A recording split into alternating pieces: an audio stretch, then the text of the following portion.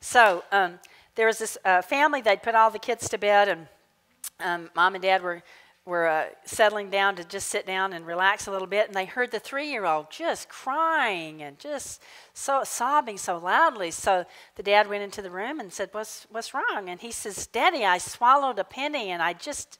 He was just beside himself. He was just convinced that he was going to die because he'd swallowed the penny, and and um, some of you maybe had this experience, one way or the other. Okay.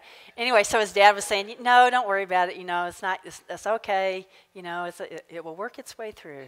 Um, don't worry about it." But the little boy was just sobbing and just couldn't stop, and he was just sure this was the end of his world and everything. So the dad had a had a brilliant idea. He kind of, you know, kind of slyly reached into his pocket and and he found he had a penny in there. And you know how you, I'm, I'm not good at this, but some of you probably are. You can pull out that penny and kind of put it in your palm, you know, and then you go like this, and oh, I pulled a penny out of your ear. So he did that. So he, he Dad kind of did that, and he put it on little Billy's ear, and he says, "Look, I pulled it out of your ear." Well, of course, little Billy just stopped crying immediately, and he was absolutely delighted. This is cool. So he immediately, before Dad could could know what was going on, he snatched that penny out of his dad's hand and he swallowed it. And he says, "Do it again."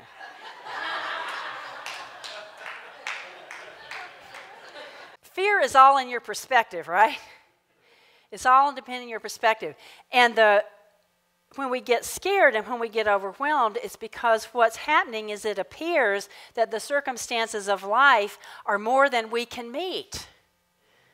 And we don't think that we can, we don't have what it takes to deal with those things. And so we get beside ourselves and we get distraught and we don't know what to do.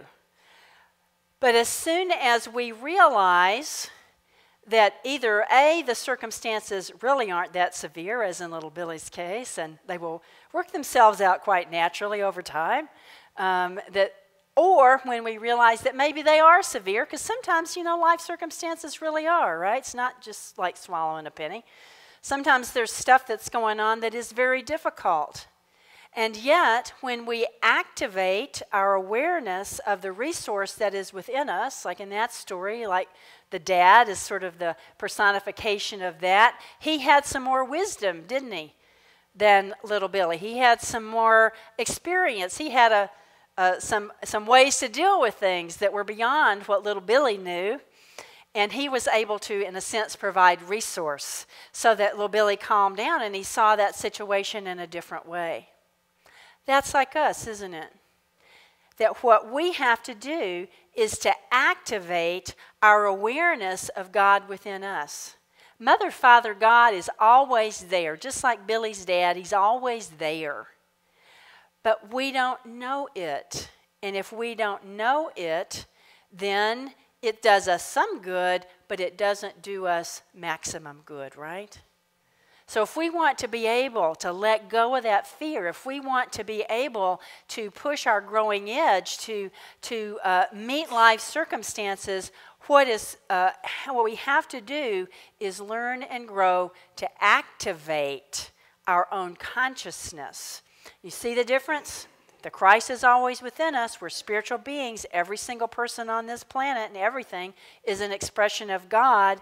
And our job as human beings is to become aware of that, to become awake to it, to allow that to be active in our lives. That's what it means to grow spiritually. You can't get any more of God in you than you've already got because you're already 100% God, okay? But what spiritual growth is about is about activating our awareness of that and our consciousness of that, which means our ability to make it actual in our lives. That's what we are called to do.